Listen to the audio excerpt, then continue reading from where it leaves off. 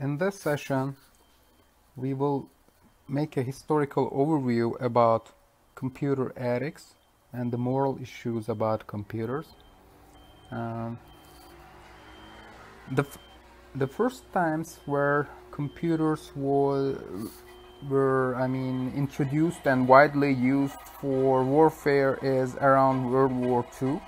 For example, Norbert Wiener MIT mathematics professor had worked on an anti-aircraft cannon tracking system.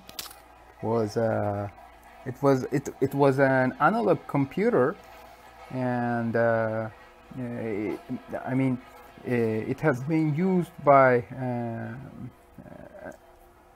mm, American Air Forces in Vietnam and uh, Korea uh, wars.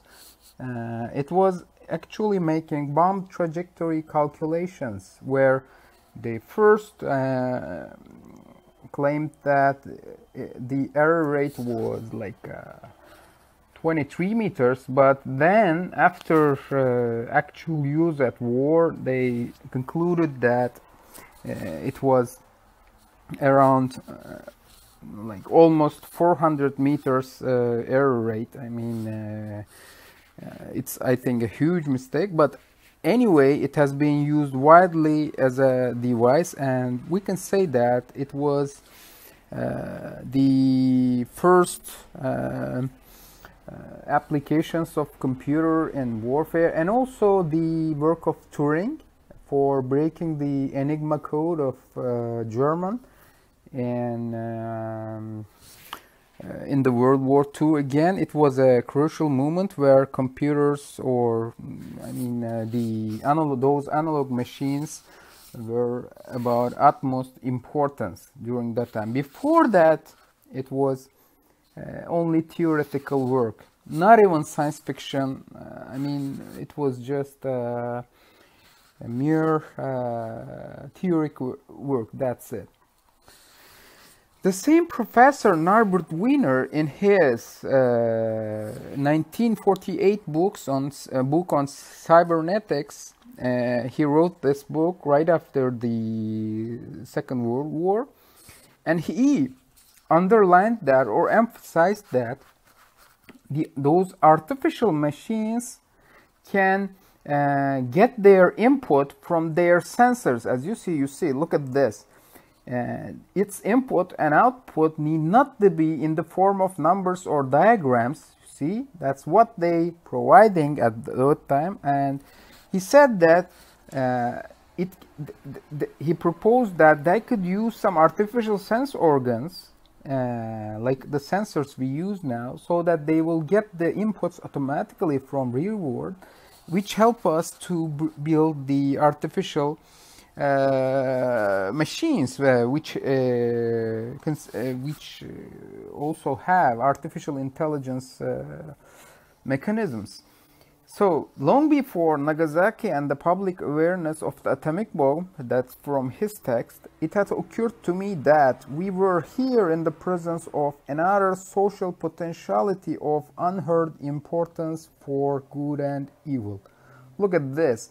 He made this claim in 1948 that the, artificial or the computers making decisions can cause problems as well as its benefits in future just like the atomic bomb or atomic uh, atomic mm, uh, physics studies. So you can uh, in, in fact it was a disaster for humankind. I think we should all agree about the atomic bombs in hiroshima and nagasaki. So artificial intelligence also has some uh, benefits or uh, let's say artificial machines in future but also there is a potential for evil use as well. That's what he underlines in his study here. Around that time after uh, the second world war there was the, the the considerations or the discussions about computers were not exactly ethical. They mainly they were mainly grounded on fear from the computers or the terrible consequences that can happen in future or degradation of human life in future. And those were analyzed in many I mean, uh, brilliant uh, scientists and artists and researchers work here. Like the one of the most famous ones is, for example, Isaac Asimov's I, Robot. I strongly suggest you to read this. To, I mean, the, this is the first moment where the three laws of robotics have uh, been discussed in this book uh, actually, it has, uh, I think, maybe 10 uh, short stories in it. I strongly suggest you to read it. And also the uh, 2001 A Space Odyssey by Arthur Clarke is a very good one again. Like uh, it has some, uh, again, artificial intelligence robots who command the mission to in the space. It has been this movie uh, is uh, I mean uh, published in 1968 and it has been directed by Stanley Kubrick. he's a very very famous uh, director, like the director and and these were the first times artificial uh, intelligence came into consideration but the things were not exactly ethical, the, the, the, the things that people discuss. It was about the worries about uh, such a future. I can also suggest you to watch, uh, to see the movie, uh, I think it was 1999, Matrix, by, uh, it was again uh, interesting film about the the fears and terrible consequences of uh, computer uh, dominated world. Again you can see that as well if you haven't so far. It's very interesting. Now the what about the three laws of robotics here? As you see these are very famous again. Again the, the this has been into this has uh, this novel has been uh, directed or uh, trans uh, I mean transformed into a movie by Hollywood, a film again with the same name, I Robot. I think Will Smith was was actor he, there. Will Smith was. You can see this as well, but it's it's not exactly about the book. It's something else, but it gives you an idea. That's it. But the thing is, for example, as you see, uh, here are some three laws here. You can read them. Like a robot may not injure a human being or a robot must obey the orders given by human as long as it doesn't conflict with the first law. And a robot must protect its own existence as well. Uh, it doesn't conflict with this first and second laws blah blah. Although they look pretty simple the uh, there are some uh, situations in the book where uh, the uh, machines come into some dilemma about those rules and they, they have been discussed here uh, interestingly and this is again an infamous, I mean, famous dialogue between Dave and HAL. HAL is this like this device this is the symbol and uh, HAL was a, a personnel uh, who who were who who was in that mission. And he was trying to get in but the computer doesn't let him in because he thinks that he's dangerous for the job. And like you need to see the movie of course. I strongly to uh, advise you to see it but the basic idea is, uh, I mean, again, about the contradictions or the dilemmas the computers get into, uh, I mean, have in their rules when uh, talking or when uh, encountering uh, situations with the humans. So that's the idea.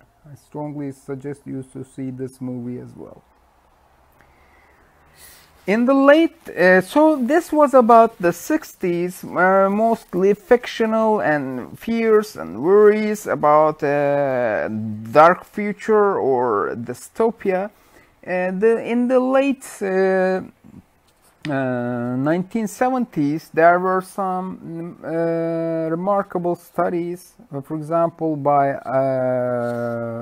Mowshowitz the conquest of will information processing and human affairs where lots of data had been prefer, uh, processed by the central uh, computers and they by the government and they're using huge databases for that. And again Weizenbaum's study about computer power and human reason from judgment to calculation because they were uh, handling lots and lots of data about people.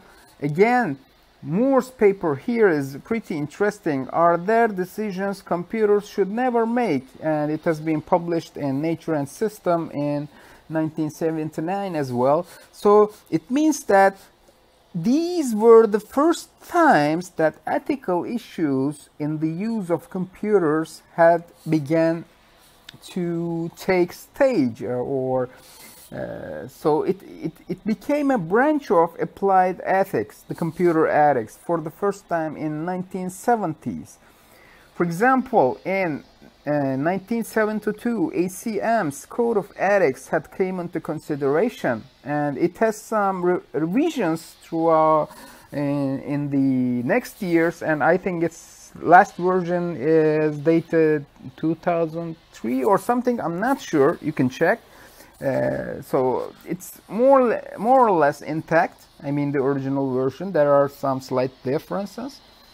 And we should keep in mind that during those times the uh, worries were about the government threat like because uh, the large databases were handled by the government and they are doing large scale calculations for that purpose so in again around the same time uh, in 1976, uh, Privacy Protection Commission has been established in USA as well.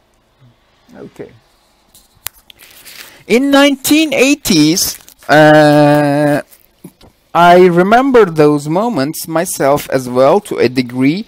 The networking came into consideration. Microcomputers were uh, finally available for home computers we're talking about. Until this time the computers that uh, has been used are i mean i mean they're just uh, huge computers uh, like the size of a room or something that uh, are not suitable for the end users. And when they, it, it, it, they reduced in size and they be, become portable computers here the PCs remote access had been all, uh, also possible.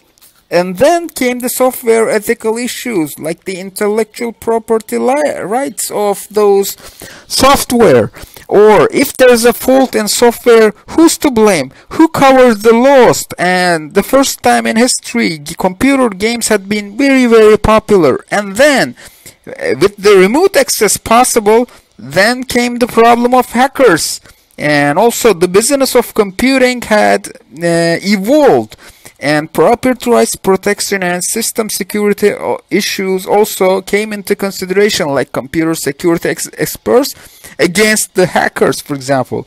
Scientific modeling had been possible and virtual reality took its first steps. Like you see the uh, ultrasound uh, imaging here and uh, uh he, you see Ward Christensen and the first computer that the ran the first public bulletin board system. Like the forums it was the communication domain for people during that time and in Turkey I guess uh, I had a friend who ran a Gecko BBS maybe I remember it long in uh, in Turkey too one of my friends and the, the, the let's say the dialogue between computer savvies was going on in bulletin board systems during that time.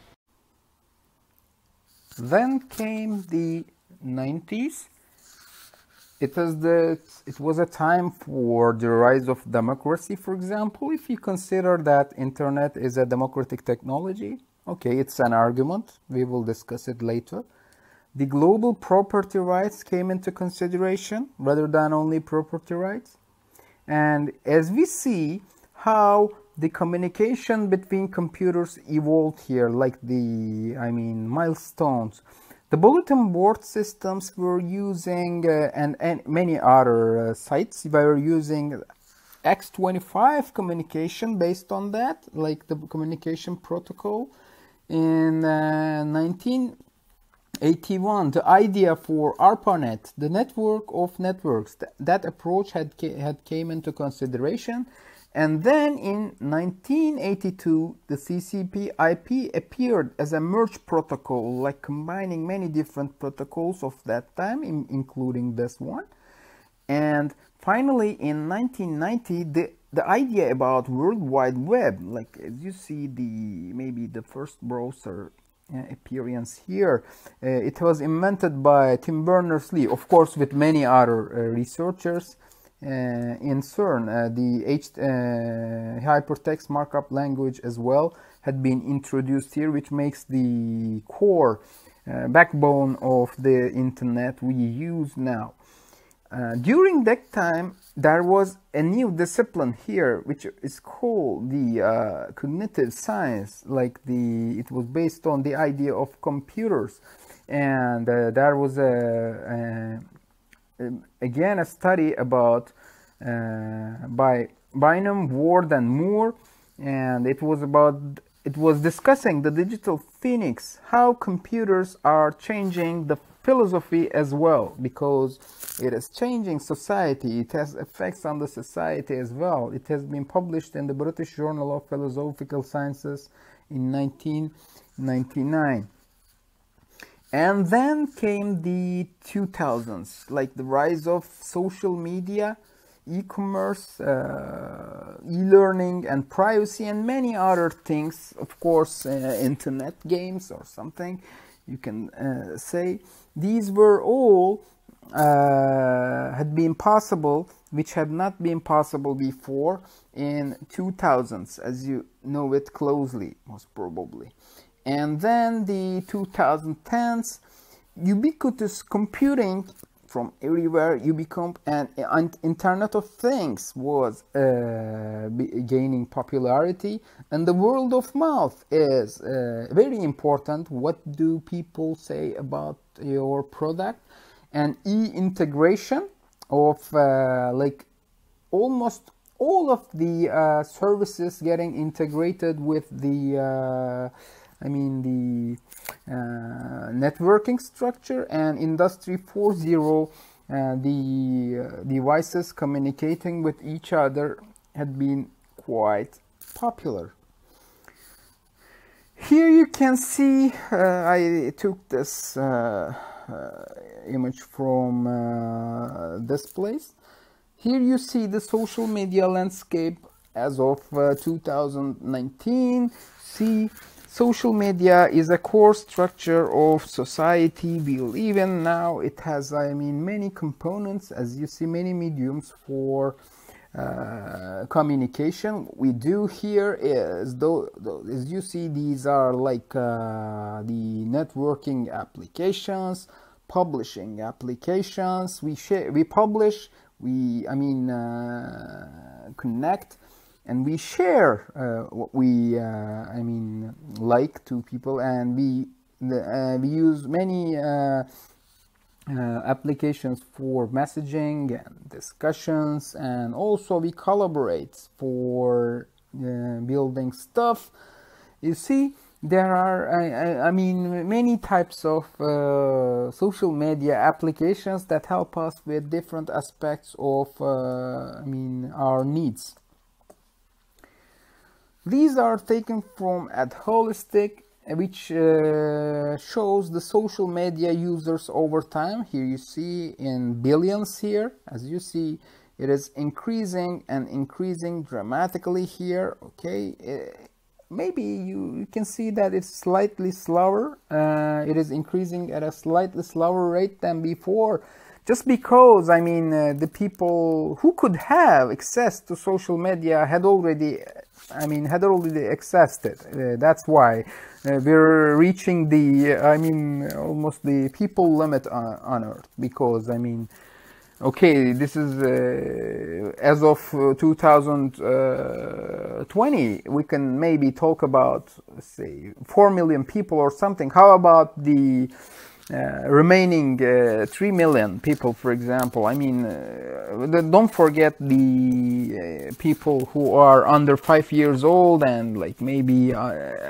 more than, I mean, older than 70 years old or something. There are lots of people uh, around that age and they're unable uh, to use social media uh, because of physical their physical I mean conditions so we can say that social media is truly uh, integrated into our society as of now these are some interesting data from at Holistic. Again, I just marked some interesting ones. For example, I mean, it's crazy how many people use Facebook. Like almost two and a half billion people monthly uh, use uh, Facebook. It's crazy. And 96% of users use Facebook from their mobile devices. That's very interesting.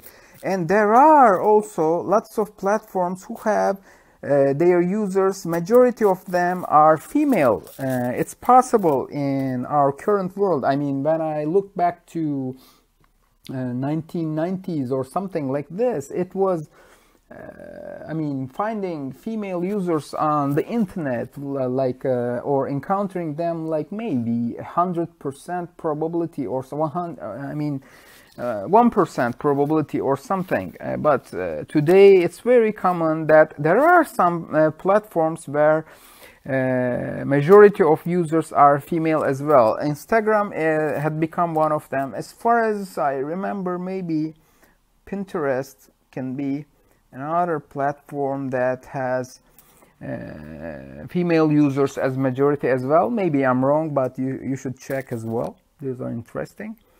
And about the Twitter, as you see, Twitter is an interesting platform again, had been frequently used by the politicians as well. 85% of small and medium enterprises use Twitter for product and services promotion. You see how, I mean, uh, strong uh, pressure or promotion pressure or um, uh, advertisement platform it is. It's it's pretty pretty uh, important.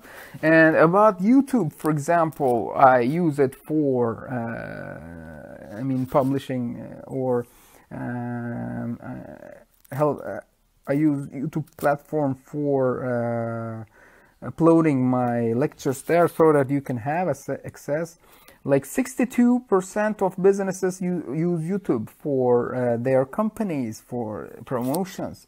And LinkedIn is, uh, I think uh, Microsoft owns this company now. Uh, like uh, it has uh, 660 million users, a lot, a lot. And like there are 17 million opinion leader and 10 million C-level executives also reside in or also have an account and they're active in LinkedIn as well. It's very very important in job wise like uh, it's a professional platform for professional social platform for uh, uh, particularly tech, uh, I mean high-tech workers, like uh, the uh, or computing profession, for example. There are lots of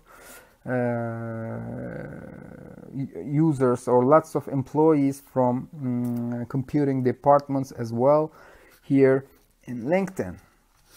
And with this mess of social media integrated into our life, uh, there is a, a, current trend about cyber unhappiness. We, we, we discuss this uh, or we feel this uh, eventually, I guess.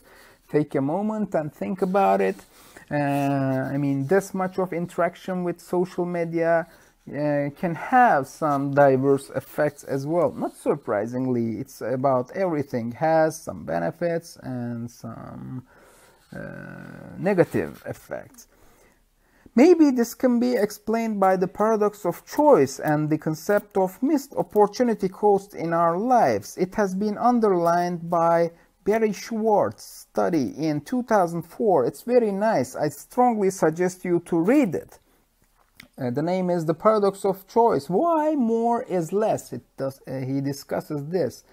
I mean, uh, the thing is, suppose that you have like uh, 60 gigabytes of music, uh, like different music uh, load uh, ready in your uh, platform, in your iPad or iPod.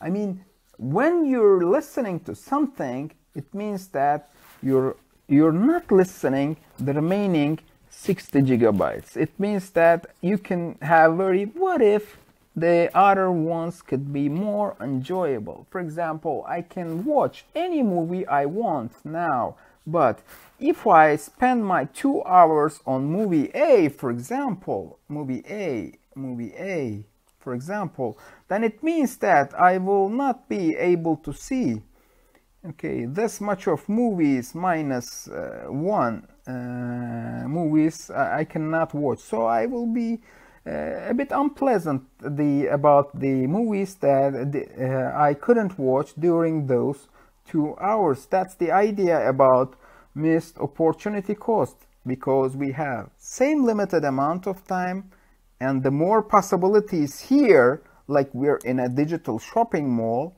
and we're drowning in an information glut it is resulting in what shorter attention span as well. This is also another drawback other than the unhappiness here. It is resulting in cyber unhappiness and it is also having another negative, negative effect which is called shorter attention span. Okay, this is maybe not funny anymore, but that's the idea. I mean, our uh, attention spans are getting narrower and narrower. For example, this lecture has been going on for almost 20 minutes now and maybe uh, uh, more than half of the uh, listeners of this lecture or this session is bored already. It's normal. Why? Because because why we, our attention spans are becoming shorter and shorter. If this video was five minutes long for example if i was if i were able to teach you or introduce you the same thing in five minutes, it would be it would make more sense. Really, it would make more sense. But sometimes it's not possible, and so attention spans are becoming a problem as well. And this is another uh, uh, study by David Loy. I suggest you to uh, read it again uh, read it as well. Cyber Babel, he talks about this in uh, where he published this in 2007. Like uh, you have the answer to your question in a structure like by like the libraries of Babel but uh, you may not be able to find it and this will really really cause some uh, dismotivate you i mean uh, demotivate you uh, in the sense. Suppose that uh, you want to learn about logic design, for example, digital logic design, but how, where can I start studying having so many options and uh, maybe there is a best book or best source for that, but am, will I be able to find it directly or what if uh, the source I find uh, I'm already studying is uh, not efficient enough. How could I know? Whatever. These are all uh, resulting in some worries. So th this is maybe I'm just making a prediction here. By 2040, are we gonna end up like the cyber Babel uh, proposed or discussed by David Loy? We will see. And again, this one is an interesting advertisement that you should uh, see. I think uh, Anna Paquin is playing here in this advertisement. Uh, you, I suggest you to watch it on YouTube as well, where this advertisement mentions that there will not, there will be no there with the networking. I mean, we're always, we're always connected with everything So the the idea of going from here to there is no more. We're already there for everything. So this is again a demotivating factor because maybe I'm just I'm just uh, arguing that because it's related with David Lewis paper as well. It's the journey that makes the makes it interesting. The journey that going from here to there is what makes us human. Maybe I'm just discussing here, and I leave the discussion to you, uh, reading about it uh, on your own as well. And how about 2060? Are uh, I mean, uh, we have a human dystopia that has been discussed in WALL-E, for example. If you haven't watched yet, I strongly suggest you to watch this movie as well. It's a very, very good one. So in by 2060, are we gonna face a human dystopia like it's been discussed in uh, uh, WALL-E, this uh, particular movie? Are we gonna wake into a world dominated by uh, the uh, robots and artificial intelligence uh, applications in all domains of our life? Are we going to have a future like this? Just think about it. But if we go back today, there are two uh, main concerns of this is my opinion today's world one of them is the global warming threat okay and these are the and the other one is you can read a lot about it in uh, on the internet and you can watch some uh, documentaries about it. This is a serious problem that we shouldn't overlook.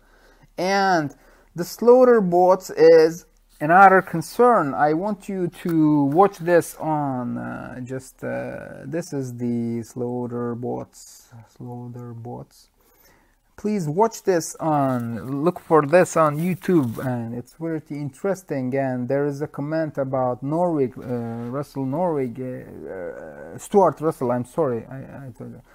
Stuart russell professor russell uh, at the end of the uh, at the end of the uh, i mean that movie and short movie which is pretty interesting. We shouldn't let uh, the devices or artificial intelligence make the decisions about who gets killed. So uh, it's also, I think, another concern of today. Also, there's another reality: the e-learning. I mean, look what people is discussing uh, lately. Do developers need to have college degrees at all. Most i mean because why? It, uh, the if you want to be a developer in future i think most of you uh, want that.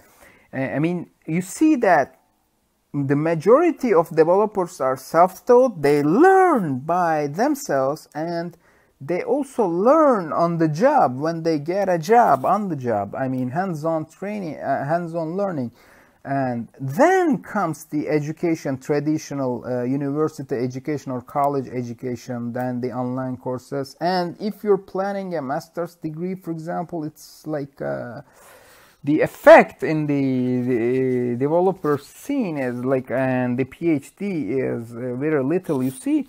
Uh, so then people started discussing uh,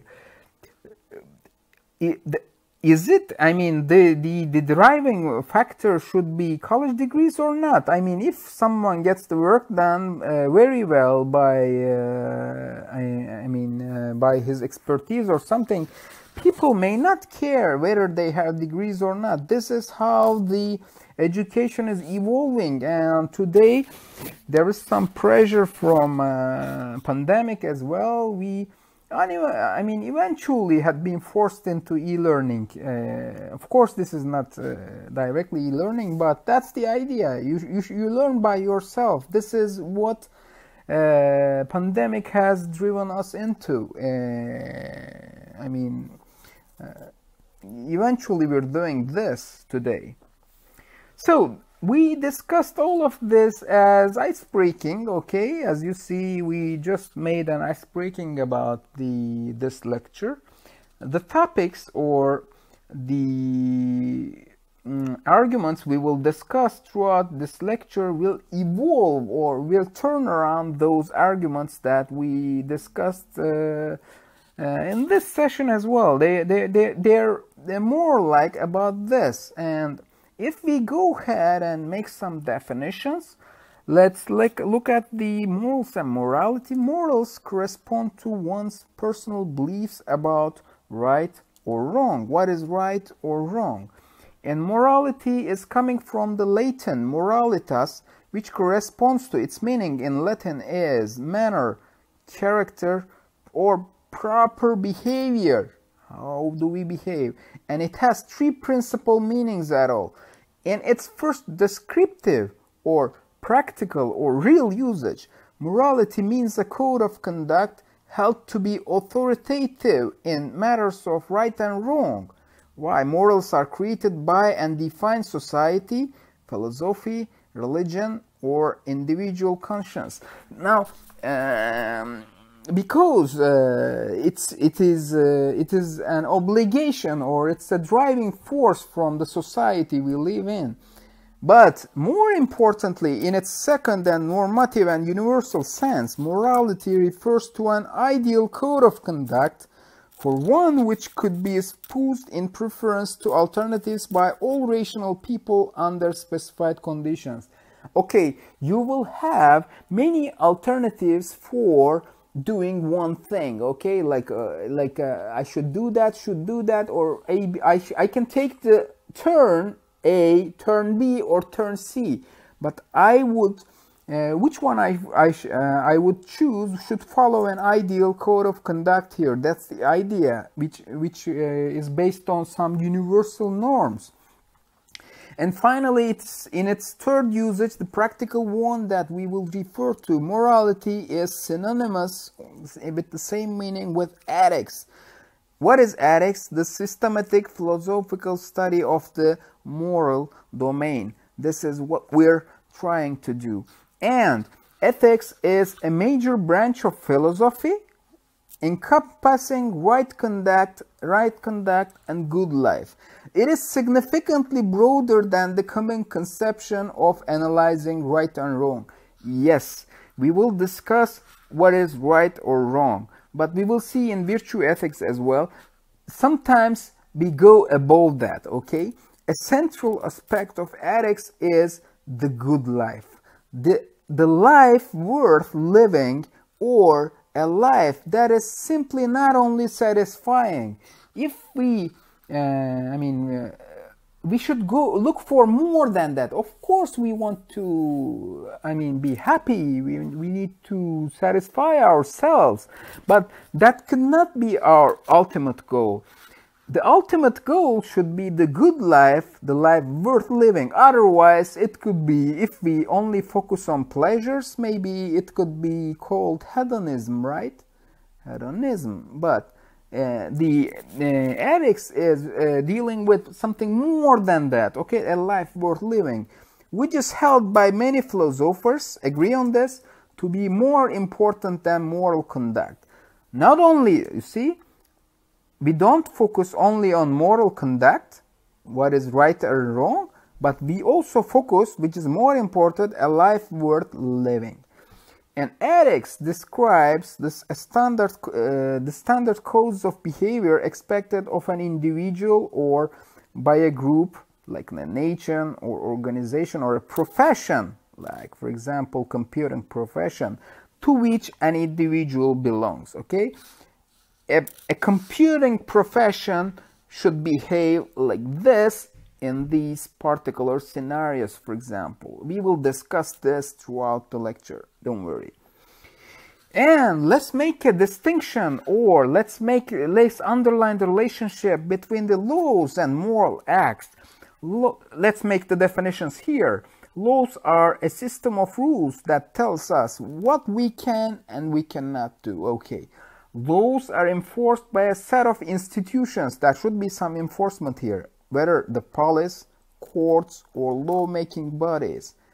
Uh, and legal acts are acts that conform to the law, which are suitable with the law.